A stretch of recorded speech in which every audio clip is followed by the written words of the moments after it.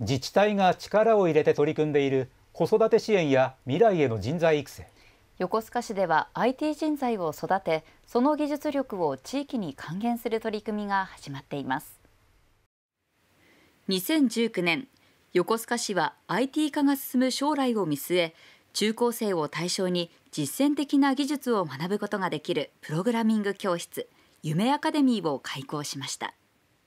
プログラミングっていうものがまだ義務教育では今は始まっているんですけど当時はまだ始まっていない中でその過程であの問題解決能力ですとか、まあ、人間力とかその過程で多く学べる部分があるんですね。でこれを義務教育ではなくて行政が主導で、えー、授業料が無料であの生徒を募集して学んでいただくそこで将来的に IT スキルを持った世界であの活躍できるような人材を輩出したい。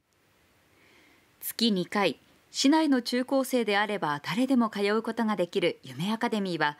当初5年の計画でしたが反響が大きかったこともあり6年目の今年継続が決まりました。もともとプログラミングは興味があって自分の力で始めてたんですけどどうにも自分の力だけだと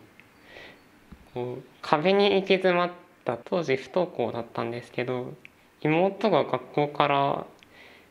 夢アカデミーの広報のチラシをもらってきてちょうど先に進みたかったしせっかくだから受講してみようかなと思って。次第に軌道に乗る夢アカデミーは当初の目標であった人材の創出から次なる課題社会への結びつきへ歩みを進めます。去年市の空き家などを活用し起業を促進する制度の助成金を利用し夢アカデミーの受講生や卒業して次の活躍の場を模索する若者たちの拠点安浦ラボが誕生しました。ここでは民間の IT 関連企業が主体となって実際に仕事を提供し地域の課題解決などに取り組みます。運営を手掛ける竹山さんは夢アカデミーで身につけた技術を社会につなぐための橋渡しをしたいと考えています。5年間学んできた学生たちはもうどんどんやっぱプログラミングのスキルが上がってきて自分たちでなんかちょっとした仕事ができるようになってきたっていうところでであればその彼らが、えーと、実際に仕事ができる拠点を作ろうっていう。例えば高齢者にスマホの操作方法を教えたり回覧板を若い世代の住民に見てもらうためデジタル化にしたりなど IT 技術を使って社会貢献活動を行っています。安浦という町は高齢者が特に横須賀市の中でも多い町なのででこの中でここに IT ですとか若者っていったキーワードで拠点ができるということはまあ一つ言ったらあのデジタルデバイドをはじめとする社会課題の解決につながるんじゃないかなと。オープンした去年はこの地が安浦町になってから100年の記念の年。町内会では記念誌の制作をしていました。町内会の高齢者が使い慣れていないパソコンで行っていた製本作業を安浦ラボの若者たちが手伝うなどして少しずつ町に溶け込んでいきます。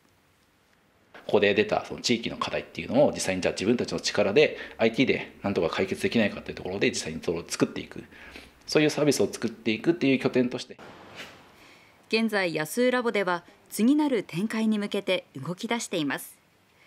ここをもっと町の人に活用してもらいたいとシェアカフェやシェアオフィスとして提供します。そのシェアカフェとか、えーと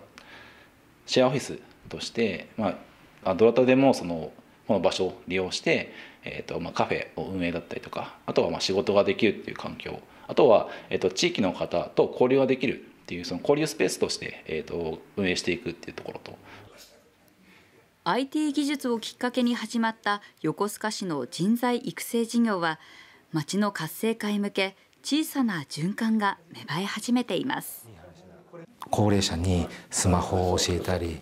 あの電子マネーが高齢の方が使えるようになったり最終的に私が期待しているのはあそこの安浦ラボのカフェはですねお年寄りの方も全員電子マネーでお支払いできるようになったらこれがあただいい形なのかなとゴールなのかなと勝手に思ってるんですけどね。私の夢です。若者のアイデアが高齢者の暮らしに貢献していていい助け合いが生まれているようですね、はい、また安井ラボは不登校だった子どもたちの居場所づくりにもなっているそうです。さまざまな可能性があり今後の展開も期待が持てそうです。